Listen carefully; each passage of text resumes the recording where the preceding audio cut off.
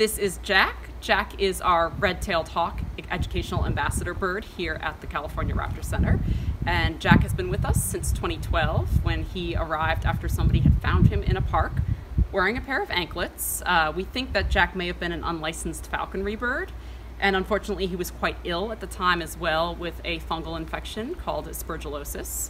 And luckily, because of the treatment he received at the School of Veterinary Medicine, he recovered, made a full recovery. But because he had been imprinted by whoever had kept him, he is a human imprinted bird and cannot be released due to that behavior. So he is our ambassador that gives people a chance to see a red-tailed hawk up close and personal. The red-tailed hawk is one of the most common and easily recognizable hawks across the United States. Uh, they are found across the lower 48 states in many different habitats, including in urban parks. And one of the telltale signs of the species, at least in the adult birds, is that bright red tail of theirs.